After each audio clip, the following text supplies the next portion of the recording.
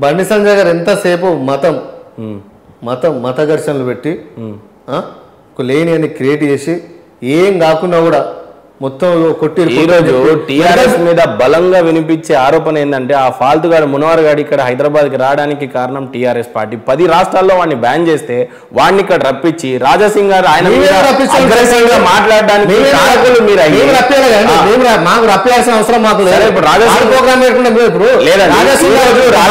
Jail వేసే పరిస్థితి ఉంది. గతంలో మీ పార్టీతో మీరు పొత్తు పెట్టుకున్నారు ఎంఐఎం పార్టీతో.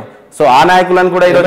పొత్తు పెట్టుకోలేదు తప్పండి ఎంఐఎం తో టీఆర్ఎస్ పార్టీ ఎప్పుడు పొత్తు పెట్టుకోలేదు. ఓకే. మేము ఇండివిజువల్ పొటేషన్ వాళ్ళ పొటేషన్ మిత్రపక్షంగా లేదా అంశాల మీద ఫ్రెండ్లీ ఉంటారండి ఇప్పుడు కేసీఆర్ గారు చేపడుతున్న పథకాల వల్ల వాళ్ళు ఏకీభవించారు.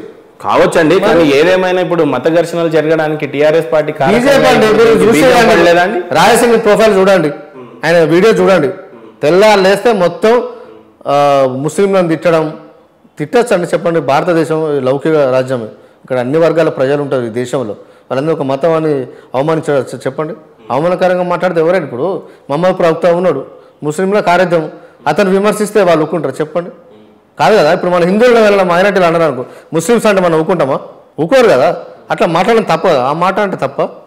ఇవాళ మత ఘర్షణలతోని ఎన్నికల లబ్ధి పొందాలని చూసే పార్టీ ఓన్లీ బీజేపీ. హిందుత్వం వేరే మతం అని హిందూ ముస్లిం క్రిస్టియన్ అని అనకుండా బండి సంజయ్ని ప్రచారం చేయమని చెప్పండి. చేయగలుగుతారా? మేము లేకుండా మేము మాట్లా మేము ఎన్నికల పోతున్నాం. మీరు కూడా రండి. అభివృద్ధి నిర్ణయం కేంద్రంలో మీ ప్రభుత్వం ఉన్నది కదా. కేంద్ర ప్రభుత్వం బీజేపీ అధికారం ఉంది కదా కేంద్రంలో. ఆ అభివృద్ధి మాటలు మాట్లాడకుండా ప్రజలకు రమ్మనండి. హిందుత్వం అనే మాట మైనార్టీ అనే మాట ముస్లింలు అనే మాట క్రిస్టియన్లు అనే మాట తీయకుండా బీజేపీ నాయకులను పాదయాత్ర చేయమని చెప్పండి. తెలుస్తుంది. అడుగు అడుగు ఏం లేదు వాళ్ళు పాదయాత్ర చేస్తుంటే ఎక్కడ వెళ్ళిన పంట పొలాలు కనిపిస్తూ ఉన్నాయి?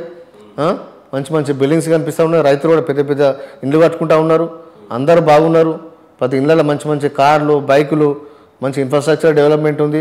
ఎక్కడ సమస్యలు వాళ్ళకు సమస్యలు చెప్పటంలో లేరు బీజేపీ నాయకులు.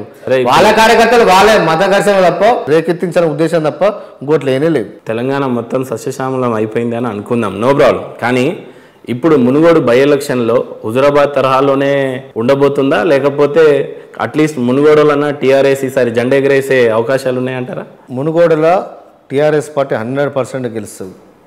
గుర్తుంచుకోండి హండ్రెడ్ పర్సెంట్ గెలుస్తుంది. ఓకే. హుజరాబాద్లో ఈటల రాజేందర్ గారు టీఆర్ఎస్ పార్టీలో ఆరు సార్లు ఎమ్మెల్యే గెలిచిండు కాబట్టి రెండు సార్లు మంత్రి పదవి చేసింది కాబట్టి ఆ పర్సనల్ అటాచ్మెంట్తో ఆయన కొంత సింపతి ఉంచారు తప్ప హుజరాబాద్కు మునుగోడుకు చాలా తేడా ఉంటుంది. ఎందుకంటే అది కాంగ్రెస్ సీట్ అది.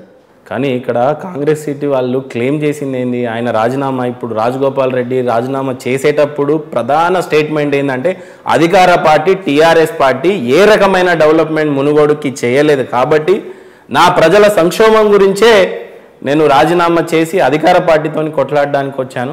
సో ప్రజలే ఆశీర్వదించాలనే నినాదం మీద వచ్చాడు. రాజగోపాల్ రెడ్డి గారు కాంగ్రెస్ పార్టీకి వెళ్ళి ఎమ్మెల్యే గెలిచిండు నీకు ఆ దమ్ముంటే కాంగ్రెస్ పార్టీకి వెళ్ళి మళ్ళీ పోటీ చేయాలి. చేసిండా?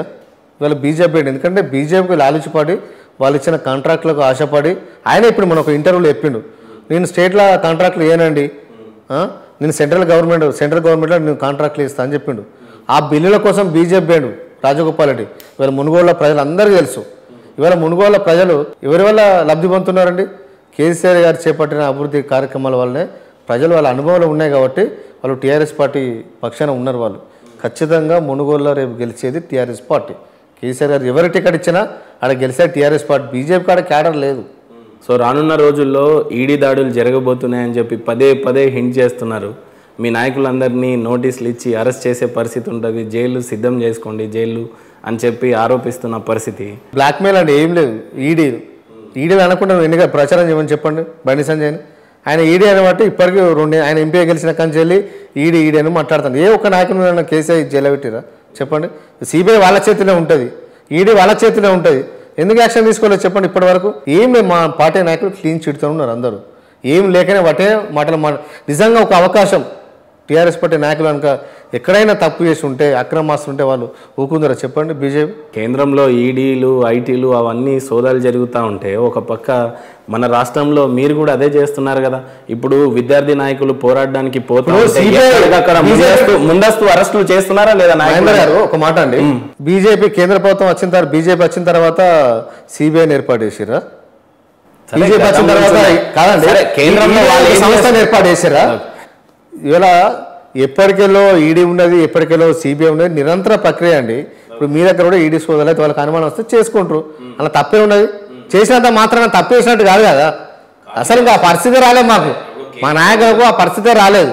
సరే కేంద్రంలో ఒకవేళ బీజేపీ ఈడీ దాడిలో సిబిఐ దాడిలో తప్పు చేస్తున్నాయి అని అనుకుందాం. కానీ అదే తరహాలో ఇక్కడ రాష్ట్ర ప్రభుత్వం కూడా అదే తప్పు చేస్తుందని ఆరోపణలు వస్తున్నాయి. ఏ రకంగా అంటే ఇప్పుడు ముందస్తు అరెస్టులు అని చెప్పేసి ఈ మధ్య టీఆర్ఎస్ బాగా ఫేమస్ చేస్తుంది. ఏంటంటే నాయకుడు ఏదన్నా పోయి పోరాటం చేయాలి ఏదన్నా సమస్య మీద అంటే ముందస్తు అరెస్టులు అని చెప్పేసి. ఇప్పుడు మీ కాన్స్టిట్యున్సీ నాయకుడే బలుమురి వెంకటి ఈ మధ్య కాలంలో త్రిబుల్ ఐటీ బాసర విషయం కావచ్చు లేకపోతే ఉస్మాన్ యూనివర్సిటీ ఇష్యూ కావచ్చు ఏ దానికోసం పోరాటం చేయడానికి పోయినా ముందస్తు అరెస్టులు ఏ రకంగా చూడవచ్చు అసలు ఇది? ప్రజాస్వామ్యంని నిజంగానే మీరు బతికిద్దాం ఏదైనా ఒక సమస్య మీద చేస్తే ఒక అర్థం ఉండండి ఉస్మాన్ యూనివర్సిటీ క్యాంపస్లో రాహుల్ గాంధీ సభ కోసం పర్మిషన్ ఆర్ట్స్ కళ ముందు పర్మిషన్ అని చెప్పి చేస్తే అది ఒక ప్రజా సమస్య కోసం పోరాటం చేసినట్టు.